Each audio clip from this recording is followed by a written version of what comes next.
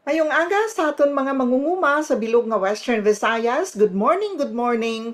Kag uh, kabay pa nga sa subong gid nga kaagahon naka-tune in naman liwat ang aton nga mga mangunguma sa pagpamati sa aton programa ang aton School on the Air on Smart Try sa Agriculture. Siyempre, ang aton nga program uh, Palay Eskwelahan, bagong pagpanguma sa kahanginan gina-implementar sa Department of Agriculture and in collaboration with the Agricultural Training Institute, Regional Field Office 6. Uh, mga kabyanan, kag sa aton mga pinalangga nga mga mangunguma, kabay pa nga ang aton nga uh, pagpamati sa subunggid nga kaagahon, magahatag sa inyo naman liwat sa mga importante nga mga uh, ihibalo, knowledge on, uh, syempre, smart try sa agriculture. And this morning, we have a new resource person who will discuss the topic on climate change. Ang aton nga resource person kaupod ko man sa Agricultural Training Institute uh, kag siya may expertise no sa pag uh, uh, discuss sa inyo sang amo nga topiko. He is the Development Management Officer 2 of the Agricultural Training Institute and of course a graduate of uh, BS uh, Fisheries uh, from the University of the Philippines in the Visayas kag may madamo ini siya nga mga trainings with regards to the topic nga iga-discuss niya sa subunggid nga kaagahon. Uh, siya isa man ka masters in uh, fisheries and major in aquaculture pero uh, with this uh, educational background uh, mga kabyanan uh, may ara pagid siya no nga mga expertise sa iban nga mga field no like uh, uh, fish health management, immunology and aquaculture, of course, climate change and climate resilient agriculture. And uh, when we talk of uh, uh, transformational leadership and uh, extension delivery system, he is also uh, expert on this topic. But this morning, ang igahatag niya sa aton nga mga informasyon kag uh, Uh, this information is very important para sa aton gid nga mga mangunguma bangod ini kabahin sang ginatawag naton nga pagbaylo-baylo sang klima or ang pagbaylo sang klima sa aton pungsod nga makaapekto sa aton nga pagpanguma. So this morning, our resource person is uh, no other than Mr. Vianney T. Ojerio, uh, sang Agricultural Training Institute kag uh, sa subong nga kaagahon ginahatag ko sa iya ang time nga maga pakig upod man sa aton nga mga mangunguma sa uh, sulod sang uh, uh, 30 minutes no sa aton nga time slot. So good morning Sir Vianney.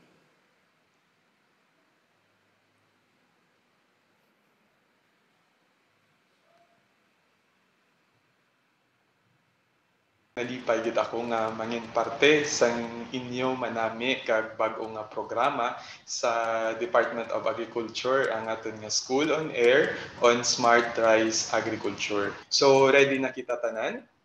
Okay. So una, i balanon anay naton kung ano ang ginatawag bala naton nga panahon. Okay. So kung ma-notice naton every day no sa uh, pang-adlaw-adlaw naton nga pagpangabuhi, manotice naton kung kaisa nga gulpi lang nagaulan, nagainit, no? Kung kaisa gulpi lang nagataguog and uh, kadamo pagid nga nagatabo sa aton nga uh, pan panyempo. So ang weather amo na siya ang panahon nga manotice naton every day no? Kada adlaw kada oras nga nga nagaiba. Amo na siya ang event nga nagatabo nga nagakatabo sa aton nga atmosphere. Ang weather amo ni siya no? Ang example niya is ang wind no?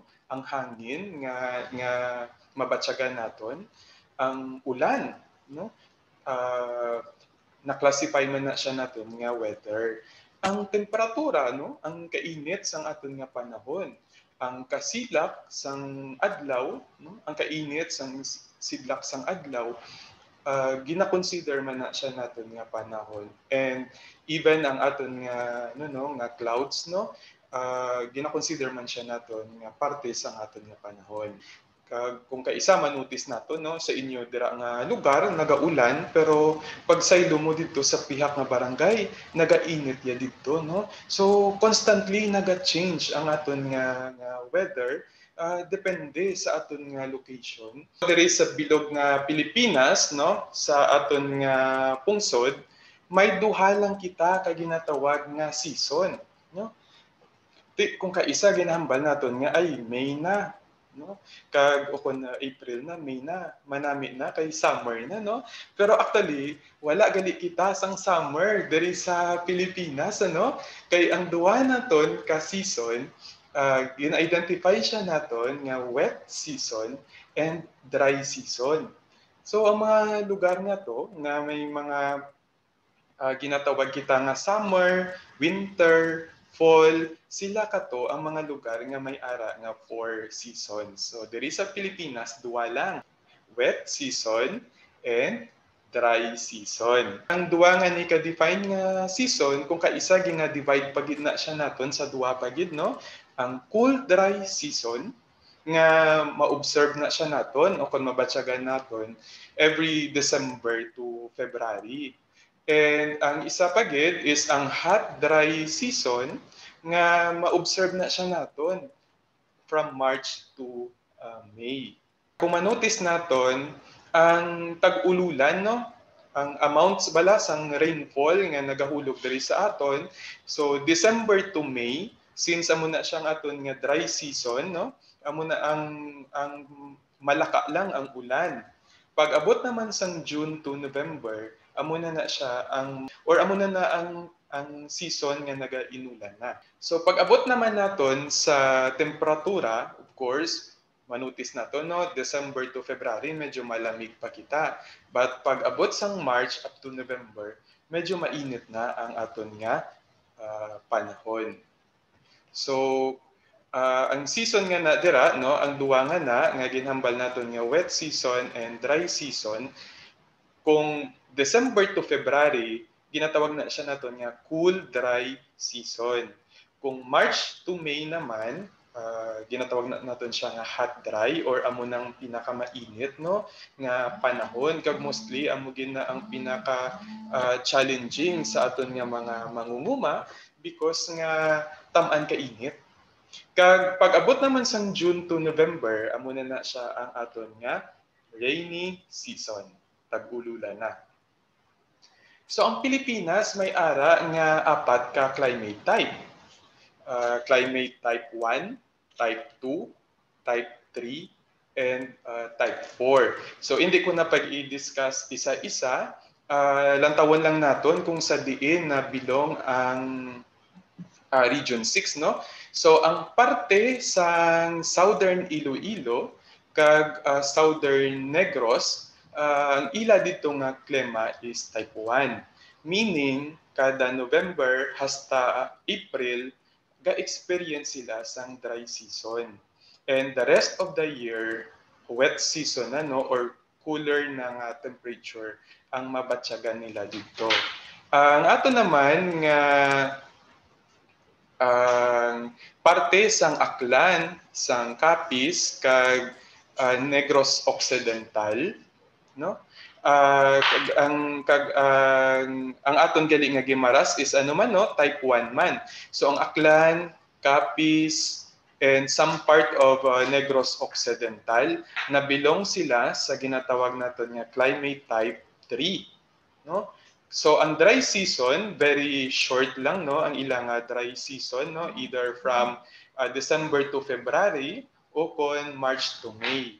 Although, waay kita ti pronounce nga maximum rain period no during sa ilang uh, wet season.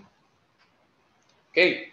So, ano bala ang mga ano no, mga weather disturbances nga nagaapekto sa aton nga panahon kag sa aton nga klima?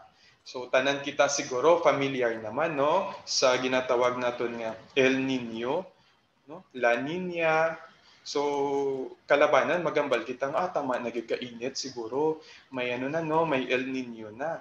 O kon grabe na subong ang ulan no, gabinaha na natabunan na tong akon nga palay, di basi naga La Nina na. Uh, para maintindihan naton ang El Nino kag ang La Nina parte na siya sa ginatawag naton nga El Nino Southern Oscillation o kon ENSO. Usually, mabatian ni naton sa pag-asa no? Kung naga-report sila sang aton nga panahon lalo na sa aton nga TV no makita naton nga nga, nga gina-report nila nga may na may ma-experience kita subong nga nga ENSO. So ang El Nino Southern Oscillation o kon ENSO amo na siya ang fluctuation sa aton nga temperatura between no sa aton nga kadagatan kag sa aton nga uh, kalupaan o kon sa parte nga nga may lupa. So actually ang ENSO may tatlo na siya ka episodes no. Amo na siyang ginatawag naton nga lanada no. Ang lanada amo na siya ang normal lang ang aton nga ulan. Meaning, ang temperature sa ocean no, kag sa aton nga kalupaan is uh, almost the same. That is why may normal kita nga uh, pag-inulan. Ang El Nino naman, o kung amo nang ginatawag naton nga warm episode, tamaan ka na ba ang tsansa nga mag-ulan, no? While ang La Nina naman, ang, or ginatawag na siya naton nga cold episode, amo naman na siya ang medyo mataas ang ano no, ang tsansa nga magulan. So ano ang mekan ano ang mechanism nga nga nakakatabo ini? So kaina ginistorya ko nga sa Lanada no, ang trade winds nga nagahalin sa cooler naton nga nga ocean for example or sa cooler part sang aton nga kalibutan nagakadto na siya diri sa aton sa Pilipinas no? And then uh, nagalibot lang ina siya ang hangin nga na nagalibot lang. That is why nga nagadala siya sa ulan kung mag El Nino meaning halin didto kung sa diin nagahalin ang ang hangin nga nagakadto sa Pilipinas mainit no? Mainit ang hangin. And then ang diri naman sa aton parte sa Pilipinas is medyo malamig. So dalon sang trade winds no? Ang mainit nga temperatura dito sa iban nga lugar kag idalon sa Pilipinas that is why nga nagako siya sang El Nino ukon ang tumalagsahon naton nga ulan. That is why usually ang may experience naton dira is drought. And uh, kabaliktaran naman no ang La Nina kung kung masyadong malamig ang hangin nga nagakadto sa Pilipinas kag mainit ang aton nga lugar, ang tendency is no, no dalon niya tong malamig nga hangin sa Pilipinas no kag dira na nagataas ang tsansa nga nga mag-inulan sa aton. So amo nang ginatawag naton nga La Nina. And ang ang El Nino kag ang La Nina ma-detect na siya naton as early as March no sa example sa bilog nga nga tuig ah manotice naton nga by March pa lang medyo naga-change na ang aton nga temperatura no? So dira pa lang ma, parang ma-project na naton no? Mabal-ano naton pagi sa sa pag-asa kung may naga may manug-abot nga El Nino or La Nina And ang phenomenon nga ini, no, or kung ang mga episodes nga ini, uh, magatabo siya uh, December up to May no, of the following year. Meaning, sa December pa naton, kung na-detect siya naton nga March, December most probably ma-experience naton kung may El Nino or may La Nina. So at least no may ara kita nga 8 months nga preparation time especially sa aton nga mga mangunguma. So kinanglan naton gid magbantay no sa aton nga weather updates nga ginahatag sa aton sa pag-asa kay pagka March no kung naghambal sila nga mag-prepare na kita no? Kay may may palaabuton nga El Nino or La Nina. So may ara pa kita nga walo ka bulan nga mag-prepare. Makaplano pa kita kung anong aton nga obrahan especially sa aton nga pagpanguma. Mayra man kita ginatawag nga monsoons no. Amo ni siya ang hangin nga naga nagaagi, nagasulod kag nagaagi diri sa aton sa Pilipinas. So familiar naman kita no? Sa ginatawag naton nga uh, habagat kag uh, amihan. So habagat naga usually naga occur ni siya no from July to September while ang uh, amihan uh, from October to March no. Ang medyo nagiging uh, problem lang naton kay nagabago na ang aton nga panahon is uh, during habagat no medyo naga nagadamol na gid ang aton nga ulan no kag kag the same man sa amihan no nga nga before daw medyo normal lang ang ang ulan o kun ang hangin nga dala sang habagat kag amihan pero subong medyo naga ano na no nagabaskog na because gani nga naga uh, bag-o naman ang aton nga klima.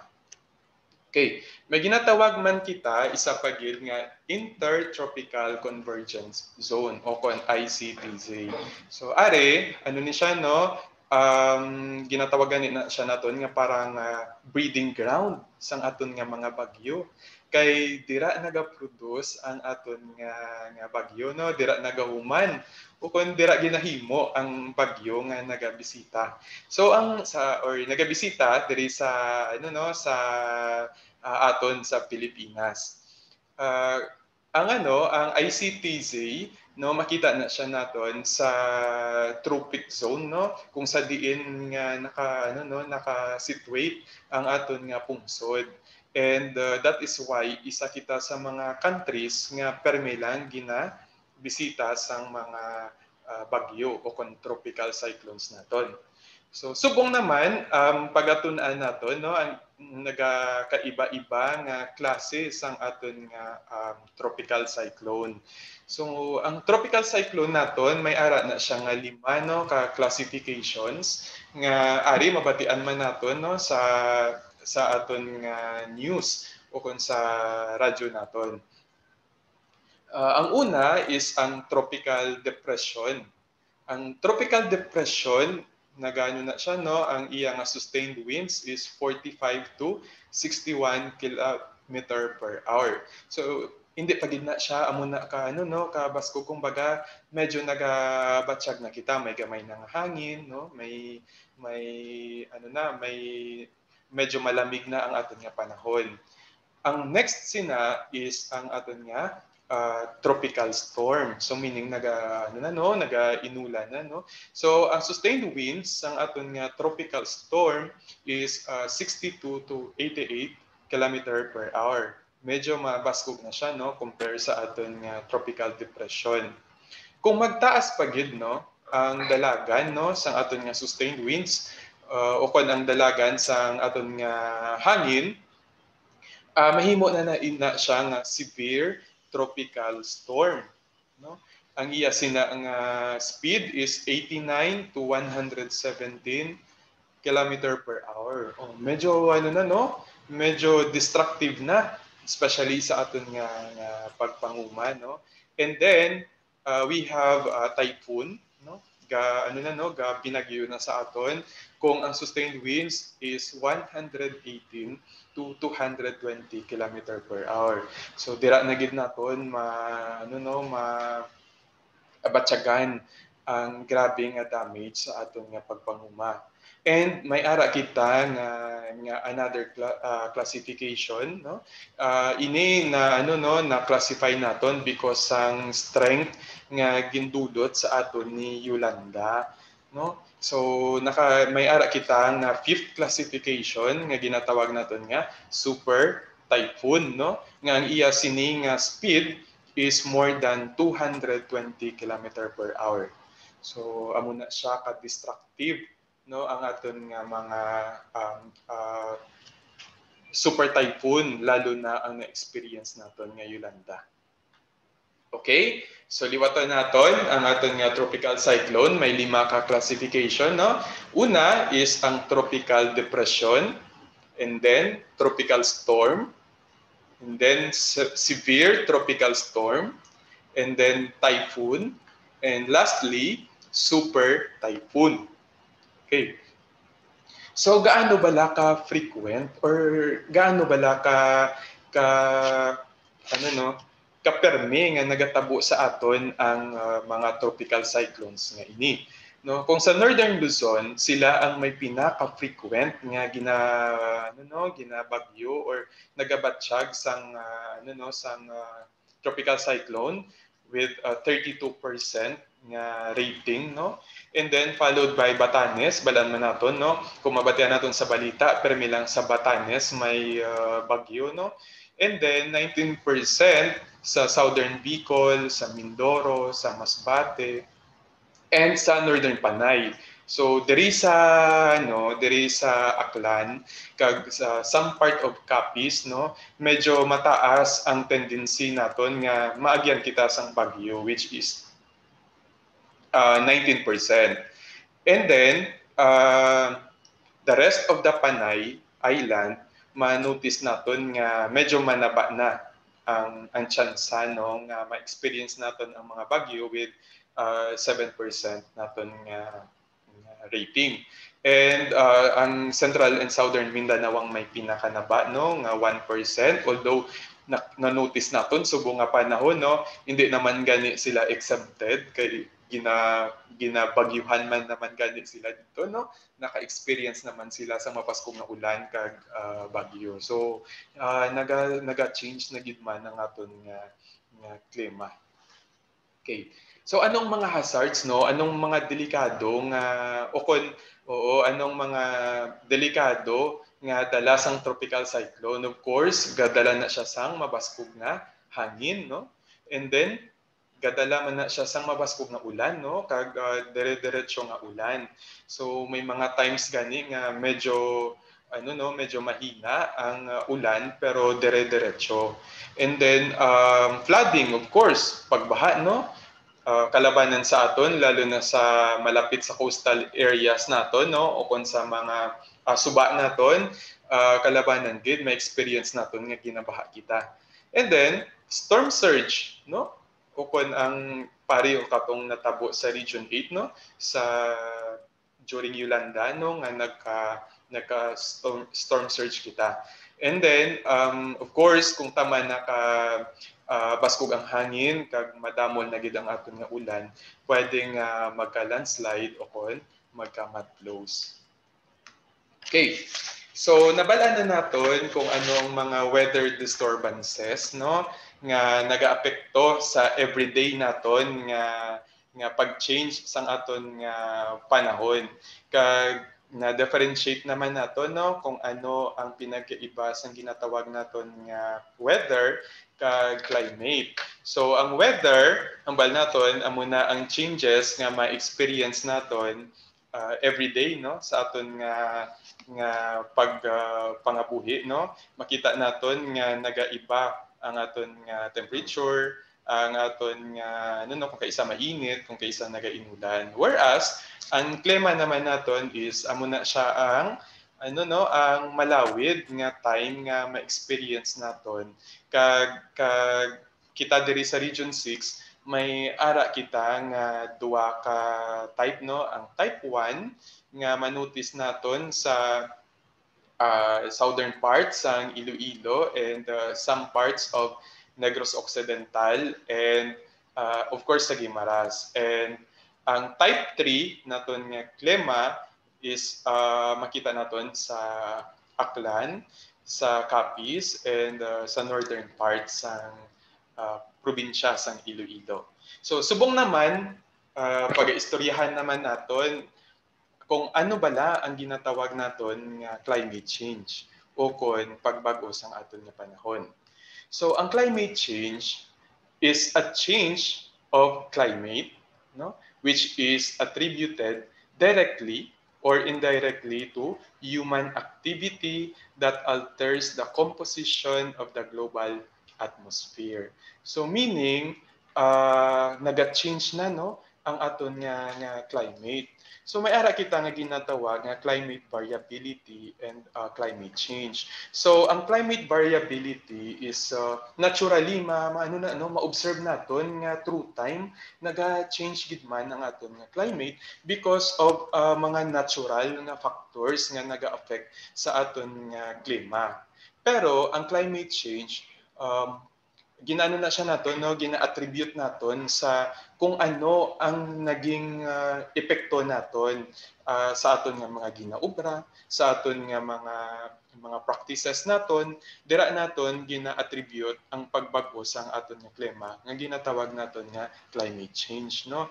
So according sa climate change act ang climate change kuno is any change in climate over time whether due to natural variability or as a result of human activity. So ano bala ining mga ano no natural variability o kag ang human activities naton.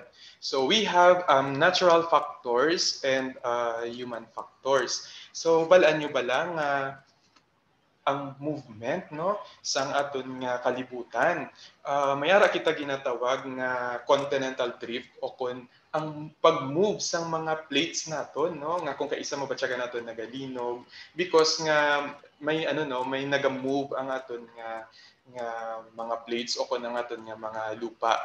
And that contributes also sa pag ano no? Pag change sang aton nga climate. Second ang paglupok no sa aton nga mga bulkan no? Because nga naga-release siya sang ano no sang dako nga amount sang gas sa aton nga atmosphere. That is why nga ang volcano eruption is isa sa mga uh, natural causes kung nga ang uh, naga-change ang aton nga klima Third is ang pag-orbit no? O kung paglibot sang kalibutan around sa aton nga adlaw no? Kay ang ang iya nga orbit uh, based sa research no? Nga may epekto man sa sa pag ano no pag change ang aton nga klima. And with that of course ang solar energy no nga nga depende sa init sang adlaw. Kung kaisa may ara kita ginatawag nga sunspots no nga nga amo na siya ang naga-affect para mag-change ang aton nga klima. And of course ang naistorya na naton kay na ang aton nga ENSO no ang aton nga south uh, ano no uh, El Nino Southern Oscillation ang aton nga El Nino kag ang aton nga La Nina uh, these are natural uh, variability nga gatabo sa aton nga panahon nga naga-contribute sa uh, climate change. In terms of uh, human activity, ang pinagid ka factor nga naga-affect sa aton nga pagbago sang aton nga, nga klima is ang ano no, ang electricity, no? Ang electricity naton, ang kuryente nga nga, nga ginagamit naton, nga fossil fuel naton, ang mga chemicals nga gina-process naton, ina sila naga-contribute man sa pag-change sang aton nga klima. And third, hindi kita luwas nga mga ano no, nga mga mangunguma because ang third is ang agriculture, forestry and other land use nga aman because of the chemicals nga ginagamit nato no? Sa aton nga pagpanguma ang fertilizer, ang commercial fertilizer, ang, ang pesticides no?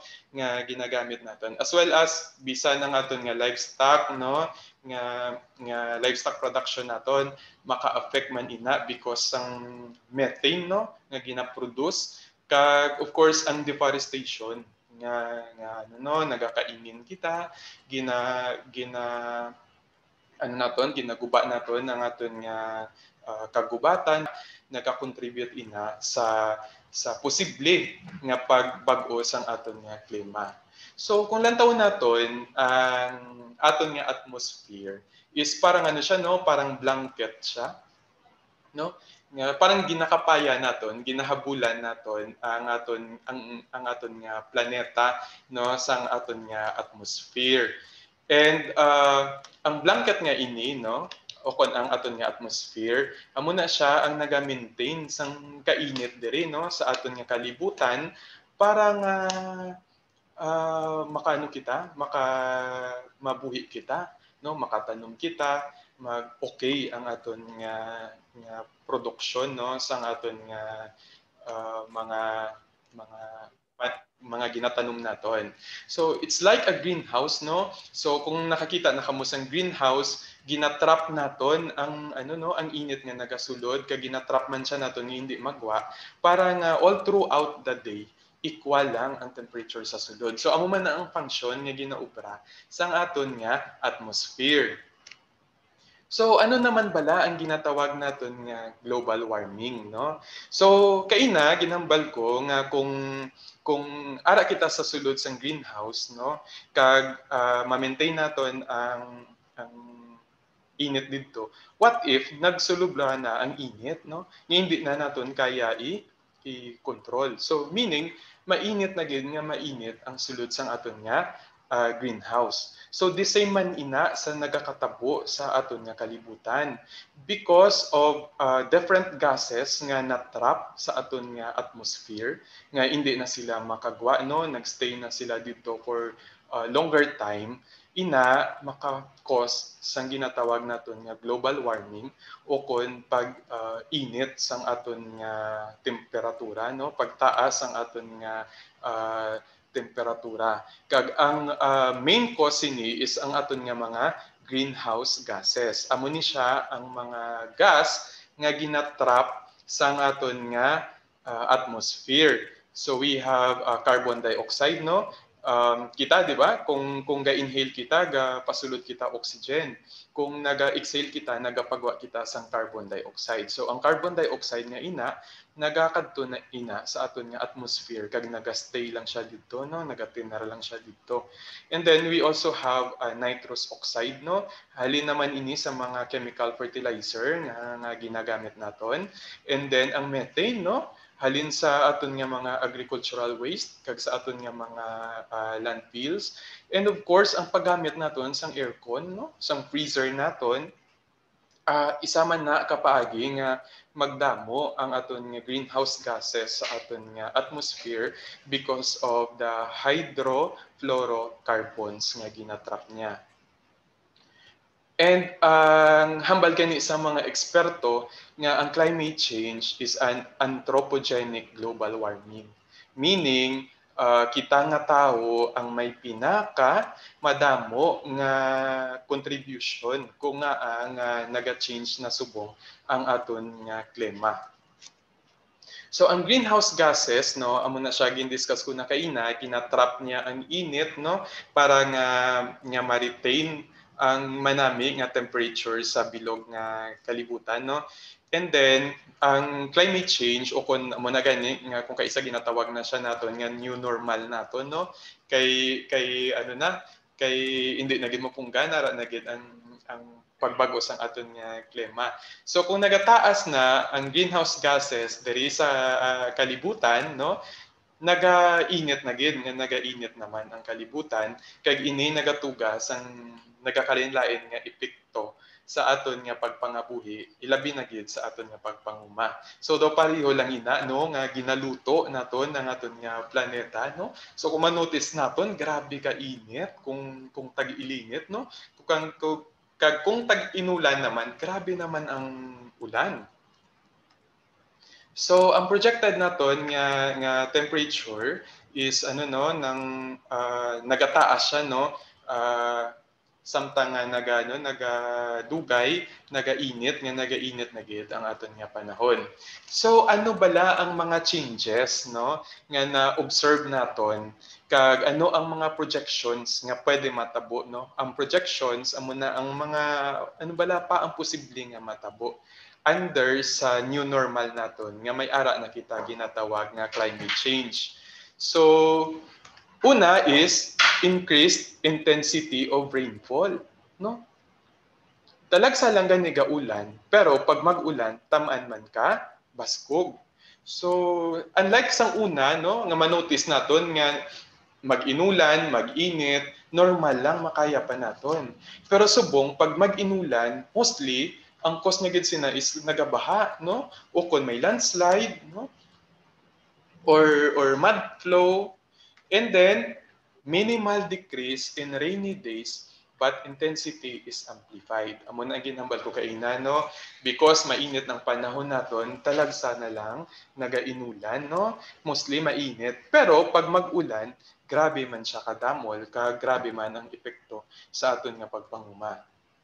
Third, increased intensity and occurrence of typhoon no? Kung ginabisita kita sang um, typhoons diri nga pila gani ang ano no? Ang typhoons nga nagabisita sa Pilipinas more than 20 no? Every year. So kung ano kung kaisa ang nagasulubra na ang nagasulod nga ano bagyo diri sa aton.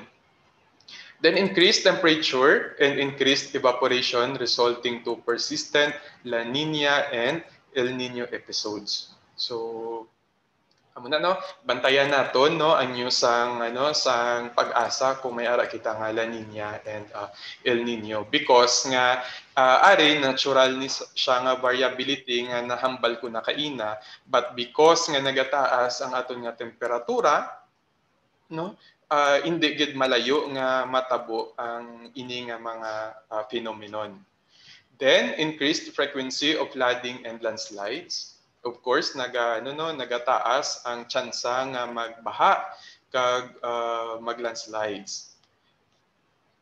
Isa pa gid is naganaba man no ang ang ano no ang ang availability sang tubig naton nga makita naton sa dalom no ang fresh water naton. Naga uh, nabaokon uh, kung kaisa gani magobra kita sang ubon no o kung sang deep well tama nakadalom ang gina ginakutkot naton. Pero hindi pa naton makuha ang tubig because nga naga, nagagamay na no ang ang tubig dito sa idalom. And then uh, sa mga malapit sa dagat no sa aton nga coastal areas nagasulod na ang asin sa aton nga aquifer no? Sa tubig naton. Kag ilabi na gid sa aton nga mga uma no? May ara na kinaginatawag nga salt intrusion. So kung kung magsulod na ang asin kag hindi ma, uh, hindi maka-adapt ang aton nga tanom didto usually ang matabo sina is mapatay ang aton nga tanom kag maperde gid ang aton nga pagpanguma Uh, another one is upward trend of humidity results to higher incidence of new pests and diseases. So balan man naton no nga ang mga peste no kag ang mga sakit naga-thrive ni sila, nagabuhi ni sila kung manami ang temperature. So kung nagataas ang temperatura kag ang humidity sang aton nga palibot, amo ni ang tsansa nga mag ano no magdamo ang peste naton kag mga sakit nga nagahalit sa aton nga mga pagpananom. And then increased cloud cover thus lower rate of photosynthesis no? So kung tam-an nakadamol no naga nagadulom na permi ang ang langit because of clouds nga ano no o kon uh, kung kaisa gani may makita kita nga mga fog no? O kon mga smog no? Nga halin sa mga ano bala kung especially sa city kita no? Nga makita naton nga naga ano na nagadulom na ang palibot because of uh, aso no? So makapanabain na sang photosynthesis nga importante gid ini sa aton nga pagpanguma. And then uh, melting of glaciers that results to sea level rise. Uh, dito sa ano sa North Pole no? Kag sa South Pole amo na siya ang mga may uh, colder temperature diri sa aton nga kalibutan because nga nagainit na ang aton nga panahon nagatunaw na ang ice dito no? So kung magtunaw dito ang mga ice nagaamat-amat naman kataas diri ang aton nga sea level o kun ang aton nga dagat. So kung magtaas na ang dagat naton dako gid ang probability nga magsulod ang tubig alat sa aton nga mga uh, planting areas no? O kon sa aton mga kaumahan. And uh, aside from that makaapekto gid ni sa pangabuhi naton no? Because nga manotice naton kung magtaas ang aton nga uh, level sang aton nga dagat madamo nga balay no? Ang uh, maapektuhan no? O kon mabasi ma-submerge didto sa sa dagat. O kon sa pagtaas ang aton nga tubig and uh, others no? Like erosion land degradation and uh, forest fires so kung mabatian naton sa balita no? Uh, may ara nga mga wildfires sa iban nga lugar no? Nga gulpe lang nagasunog ang mga uh, forest no? Mga kagubatan naton. E- even diri sa Pilipinas no? May nagakatabo man recently no? Sa Cagayan de Oro may ano dito may balita nga nagka forest fire no, nagka wildfire because nga masyado nakainit ang aton nga panahon. So amo ni siya ang mga na-observe naton nga mga changes kag ang possible pagid nga matabo samtang nga ma-experience naton ang ah, ah, climate change. So liwat no ang ang climate change amo na siya ang pagbag-o sang aton nga panahon because sang mga practices naton no nga nga ginaubra naton sa adlaw-adlaw naton nga nga pagpangabuhi. Okay, thank you very much, uh, Sir Vian Ojerio, uh, for that very uh, nice and very concise explanation about climate change. And uh, this topic, I hope, nakahatag sang uh, uh, madamo gid nga informasyon uh, for our farmers uh, in Region 6 nga nakatune in sa subong gid nga kaagahon. I hope uh, ang ini nga mga discussions and this topic makahatag gid sa inyo sang bago naman liwat nga mga learnings no and this can be applied sa inyo man nga pagpanguma kay nabalaan naton nga ang pagbaylo-baylo sang ah, klima naton isa sa mga factors nga naga-contribute man no sa ah, pagnubo sang aton nga mga patubas or maybe magpataas man sang aton nga mga patubas so kinahanglan naton nga mabalaan ah, kag ah, syempre no i-apply kung ano ang aton nga mga nabalaan sa mga informasyon nga aton nabatian sa subong gid nga kaagahon. We would like to thank of course uh, our partners from the Department of Agriculture, Regional Field Office 6, of course, uh, sa aton man nga mga mangunguma nga nakatune in sa subong gid nga kaagahon and our partners from the local government units. Thank you very much and good morning.